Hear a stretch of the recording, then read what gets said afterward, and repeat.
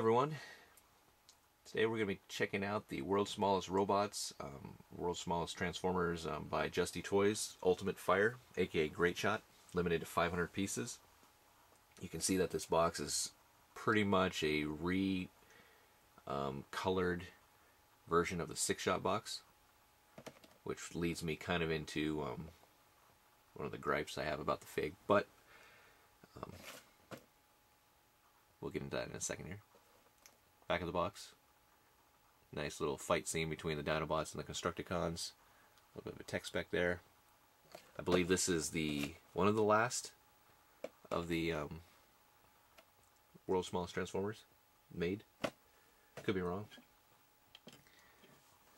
Alright, there he is in his um, Starfighter whatnot alt mode.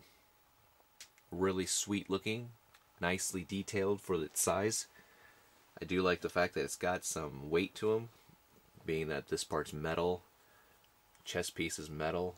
Really, really nice. Um, very nicely scaled down version of Great Shot. So, I'll have some pics at the end. I'm not going to transform into all six modes because of the fact that um, it's um, a little tiresome trying to transform a little dude, whatnot. And once I transform him into robot mode, you'll kind of see he's exactly the same as his counterpart. Not great shot, but six shot. You do have to be careful with these guns and whatnot since he is a smaller fig and a little bit um, pricier. You don't want to kind of snap off these little um, pegs. If I can focus here, right there. So transform real quickly. Like I said, he transforms just like his counterpart. Like any one that's in this mold. It is nice. He's just like the Shadow Maru He doesn't have the bar that connects the legs together. So it's pretty, I guess, kind of nice. Pull those back. His leg, feet here.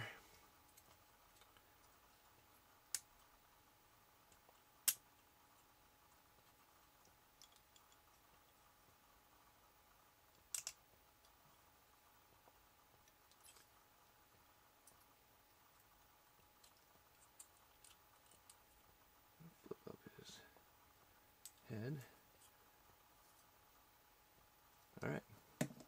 There he is, transformed into his robot mode. So we'll start off with a little bit of a complaint, I guess. Disappointment. I really wanted uh, another Great Shot fig. I, I mean, there's not that many Great Shot figs out there.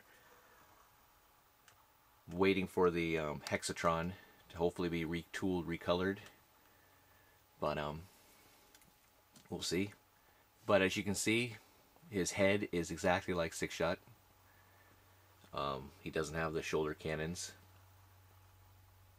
And this part right here is just a sticker, unfortunately.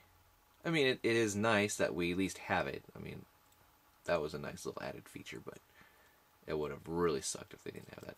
He does have some stickers that go here, but they look more like um, the ones that came with Six Shot, and they look more um, kind of Decepticon colored like, so I didn't put them on.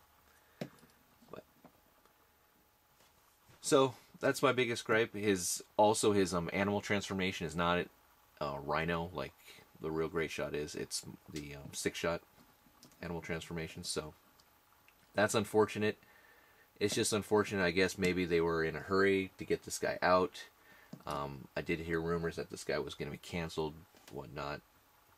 I'm not sure and they just recolored him, gave us a sticker, and called it good. Would have been nice if they would have um, done a little more with him, but oh well. Here he is next to Bumblebee. Kind of a little size comparison there. He goes great with a lot of the city um, Transformers, whatnot. That's what I like about him. Um, really great with like the Planet X, um, Genesis, Omega Supreme or the um, Hercules Devastator guys. Really nice figs still. I do like him. I mean, he's got all the same articulation as the um, G1, but in a smaller scale, which is nice. It's unfortunate. I mean, I guess a lot of people think that Six Shot is Great Shot, which Could be true, could not be true. I don't know. I don't. You know, I'm not going to get into that. But this kind of could play into that. I mean, his morphing into what he looks like in Victory in the actual Great Shot mode. I don't know. Could work. Let's zoom out real quick. Here he is next to